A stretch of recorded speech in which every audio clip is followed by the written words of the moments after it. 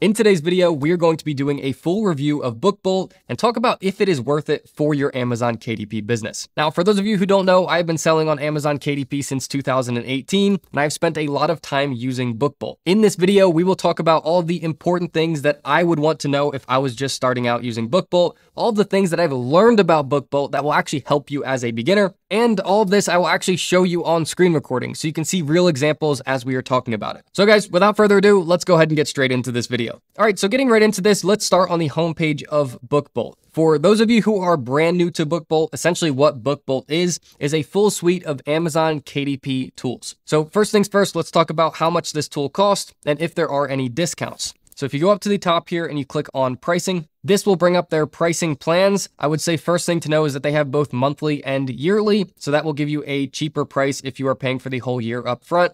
But the two main plans here are the newbie plan and the pro plan. The only difference between these two plans is that on the Pro plan, you have access to the puzzle creation software. Now, we will talk about this later on in this video, but this is actually the tool that I use the most on BookBolt. This is to create word searches, crosswords, Sudoku puzzles, all different other types of puzzles as well. And in order to create those puzzles, you do need to have a Pro subscription. Now, the Pro subscription does cost a little bit more. It's $9.99 for the newbie, $19.99 for the Pro. However, a couple important things to know about this is that for both the newbie and the Pro plan, there's a free three day free trial. Now, what I found out here is that the three day free trial has full access with unlimited downloads. So you can actually create a lot of books while you're still on the three day free trial. Now, beyond the free trial, when it comes to actually paying for a plan, I do have a personal coupon code that I can share with you guys. It is for 20% off either of these plans and it lasts a lifetime. I will put a link to that down in the description below if you would like to use it, and I'll have the coupon code up on the screen so you can type it in manually. So guys, now that we've got all of that out of the way, let's go ahead and get into the good part in this video, get logged in and actually show you how to use this tool.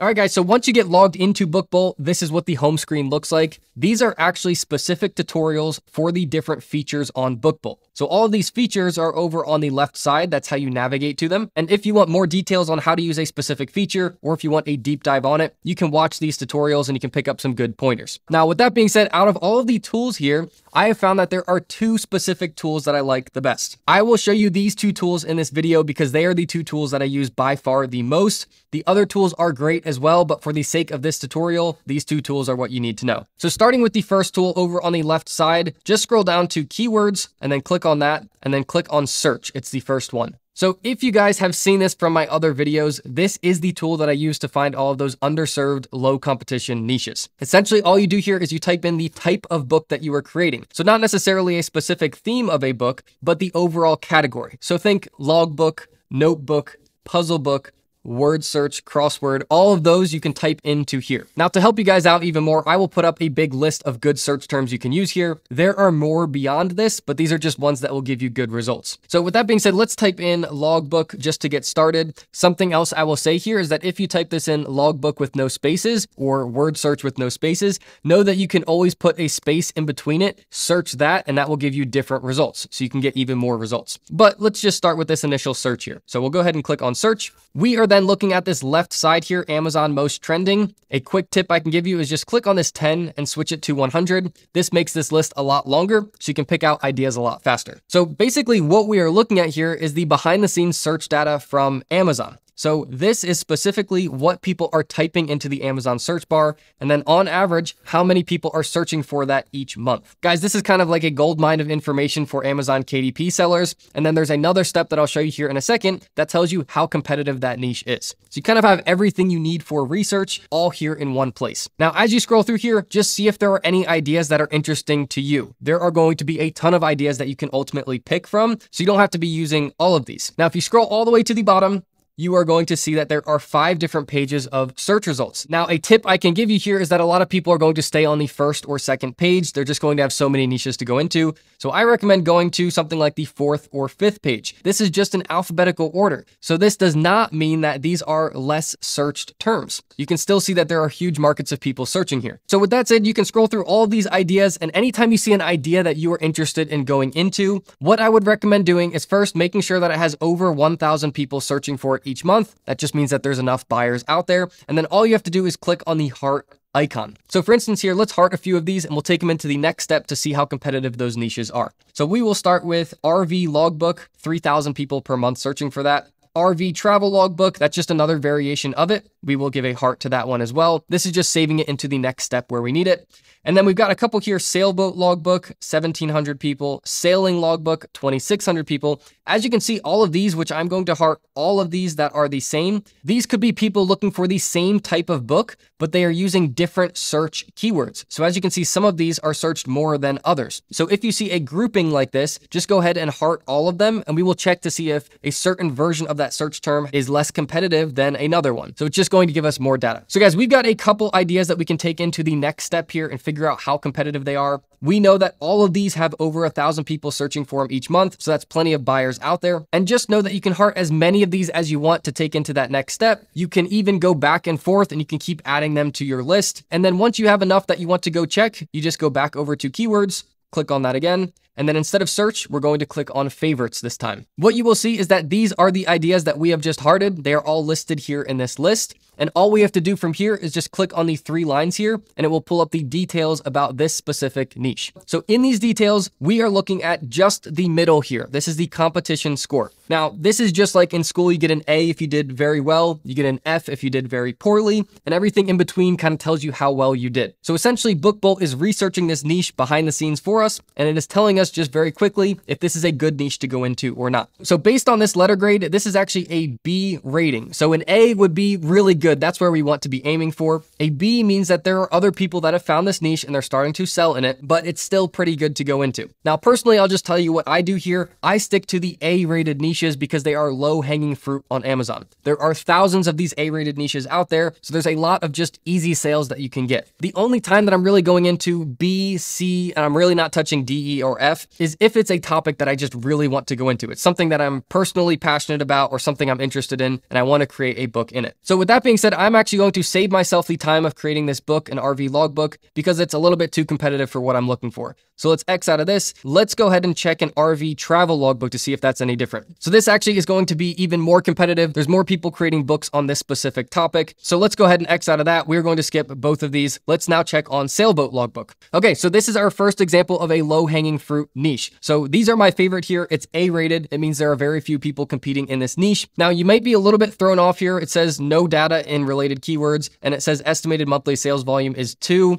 Just know that the estimated monthly sales volume is not always accurate. What I found is that it's typically higher than what it says here, and I can actually prove that to you here in another step, which I'll show you here in a second. Real quickly, I will say here, I tested this on the channel, and I went into an A-rated niche with an estimated one monthly sales volume, and that book pretty quickly started selling something like 20 plus times per month. So with that being said, sailboat logbook, that would be the first one I would be copying here, and I would be pasting into a list of niches that I want to go into. For the sake of just kind of giving you as much value in this video as possible, we are also going to check sailing, sailor, and sailors. We just want to see if these are more competitive, so we should not use sailing within our listing that we are creating, or if they are just equally as open, where we can also use those keywords, or create books that specifically target those niches as well. So let's go ahead and check this one. Sailing logbook, A-rated niche, perfect. So we can use the keywords for sailing in our listing as well, or we can create a second book for it.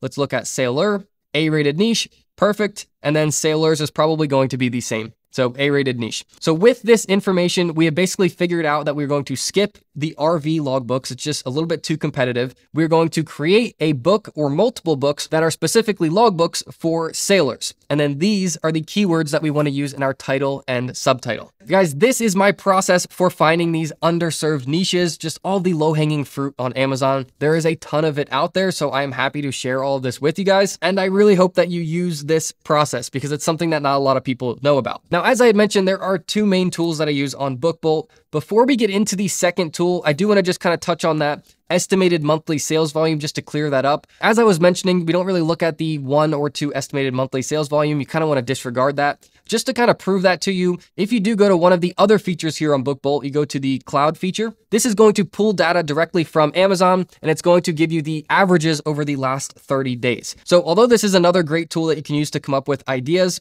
all we have to do for this instance is just click on Notebook, switch it to the type of book that we are looking up. We are looking up a logbook and it is in sailing or sailboat. Let's just type in that give that a search. And this is going to pull the other competitors in this niche. So you can see we have a captain's log. That's not a sailing logbook, so it's a little bit off topic. That's why it's not matching. Sailing logbook, we've got one right here. Boat maintenance logbook, and captain's log. So that's why this is a low hanging fruit niche because there's only one really good match for it. And the part that I wanted to show you here is that the estimated moving average sales. So this is the average sales over the last 30 day period is an estimated 169 sales. So that's a lot more than just one or two. So like I said, when you're looking at the competition score, just try not to look at the estimated monthly sales and let that discourage you in any way. So guys, that is the first feature that I really like using on Bookbolt. That is essentially the first part of my Amazon KDP process. That's where I find the niches that I want to go into. Now, the second feature on Bookbolt is for actually creating the books themselves. They have a full graphic design suite, which I'll show you here in a second. So once you've found the niches you want to go into, you can then create the books themselves on Bookbolt as well. So from here, we know that we want to create a sailing logbook. So all we have to do is click on research, switch it to create, and then we'll go to the first one that says Bookbolt Studio.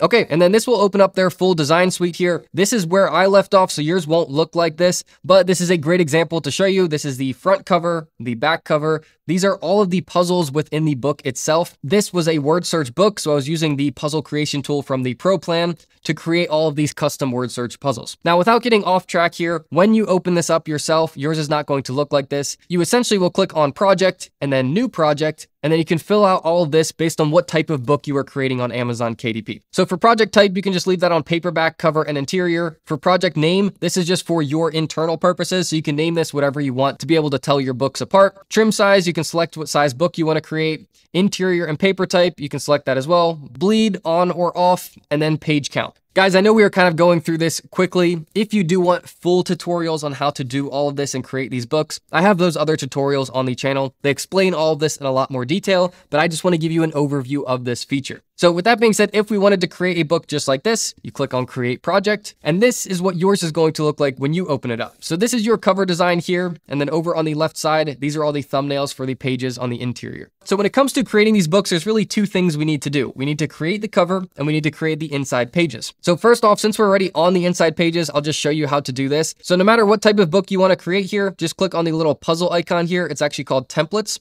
This will then open up all of these pre-made templates that you can use. You can literally just click on them and use them directly as is in your books. The cool thing about this is that BookBolt gives you full usage rights to use any of these templates. You can modify them, customize them to be your own, or you can use them as is. So with that being said, these are just line pages at the top, graph paper, different things like that.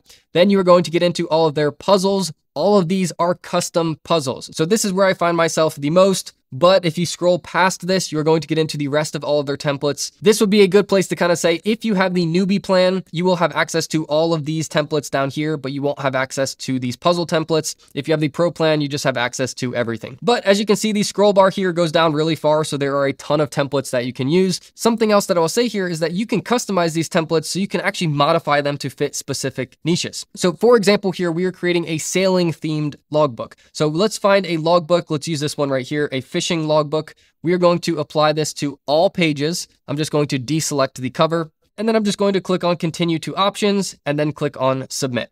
Now guys, as I had mentioned, I'm going over this rather quickly. I just want to show you how these features work. If you want the full detailed tutorials, those will be on the channel. So with that being said, this is a fishing logbook by default. So if we are creating that book, we could use this as is. Since we are doing a sailing logbook, just right click this and do edit contents. Now we can switch all of this information. So the layout can stay exactly the same. We can just change the different variables to fit a sailing logbook. Now, if you are going into a niche that you know nothing about, so you don't know what would go into a sailing logbook, you just know that it's a good niche on Amazon Amazon KDP, just go over to Amazon KDP and look up the other sailing logbook or logbooks that there are out there and see what the inside of their books look like. This will give you a good idea as to what you should include inside of your book, and you can even do this on Google just to get an idea of what you should be including. So guys, that's half of creating the book already. That's all of the inside pages. Once you customize it on one page, you can duplicate that to every other page, and the inside of your book is complete. So that leaves us with the last step here of actually creating our cover. Now this may be confusing to see at first, the red around the border, the barcode, all of the text. Essentially all you need to know here is that when you are creating a cover for Amazon KDP,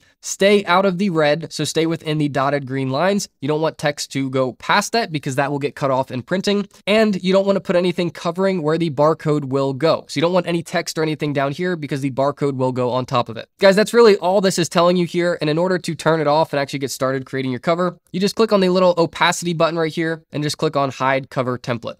Then click on OK, Now you're ready to start creating your cover and you can still see these dotted green lines. That's where the red was. So keep all of your designs and everything within those lines. Real quickly here, I will say for any of you who have used other graphic design tools that are not made specifically for Amazon KDP, you will know the struggle of trying to get everything sized perfectly, submitting that to Amazon KDP. They reject your book because it is off by a fraction of an inch and you have to go back and forth trying to recreate that cover to get the sizing perfect. If you're using a tool like this, everything snaps to the size. It's all made specifically for KDP, so it makes that sizing a lot easier. Now, with that being said, when it comes to creating your covers, my best advice is to create a couple different covers and use them as templates. Then when you create a new book, whether that's in a totally different category or a similar niche or anything like that, you can reuse those templates change the colors, change the graphic, change the text, and then you just streamlined creating your entire cover. So I'll give you kind of a quick overview here, but you can do all of this with shapes. So I would start with a rectangle,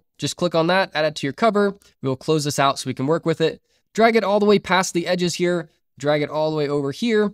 This is going to give you a background color for your cover. So if you want to change this to match the theme of the book you're creating, just click on the black. You can change it to any color you want. These are colors that I've used recently, but you can change this just by dragging around these sliders. You can move it to any different color background that you want. Now you can add text, you can add graphics, you can add puzzles, you can add whatever you want onto these covers. Just to show you some of my personal templates, these are some of those examples. So this is one of them here. It is a word search cover template. This is specifically for hunting, but essentially you would just switch out what this was. It could be for camping, it could be for anything else. And then you just change out the hunting to whatever niche that is, change the colors to match it, and then you've got a cover ready to go. I'll show you another one here. This is a camping specific crossword puzzle book. This is one of my favorite templates here. And to show you a perfect example of this, I also use this to create a word search book. Now, as you can see, these were both camping themed. So I actually left the graphic the same, but I switched the puzzle in the background from a crossword puzzle when it says crossword to a word search puzzle and it says word search. And then I just changed the colors so it's unique. And guys, there you go. That's how quickly you can create another cover. So guys, I have a few other templates that I mainly use, and then I'm just jumping between these templates and customizing them for each new book that I'm creating. Now, there are a couple ways to do this. My favorite way and probably the easiest way to do this is just to select this entire cover. And as you can see, I'm selecting all the way over the edges. And then we're just going to right click. You're going to copy, Let's go back to the new project that we are creating. And then I'm just going to take this color. Let's just delete that out and then just right click and paste. And then just like that, there is the cover on the book that we are creating. We can then go in and we can edit anything specifically to match the theme of the book that we are creating. Now guys, the last thing that I think would be important for you to know is that they have a full graphics library in here. So you can get graphics for any niche that you are going into. And the graphics are copyright free and commercially usable. If you have started to dig into Amazon KDP, or if you've gotten a copyright strike on your account, this is often by using graphics that are copyrighted or not commercially usable. So I get a lot of peace of mind by knowing that the graphics that come from this library are all usable for Amazon KDP. So I thought that that would be something that you would want to know as well. So guys, that is how I use BookBolt for Amazon KDP. I really enjoy using it and I think you will as well. As a reminder, the discount code for 20% off, I'll put a link to it down in the description below. And if you guys have any questions at all, just let me know down in the comments. I really hope you guys enjoyed this video. If you did, please just give it a thumbs up. I would really appreciate that. Otherwise, I'll plan to see you guys all in the next video.